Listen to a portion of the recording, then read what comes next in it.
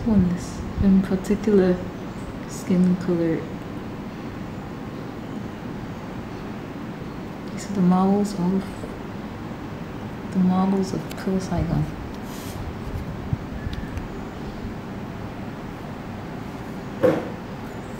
And one hemisphere, eight marbles and one hemisphere. So these are flat base.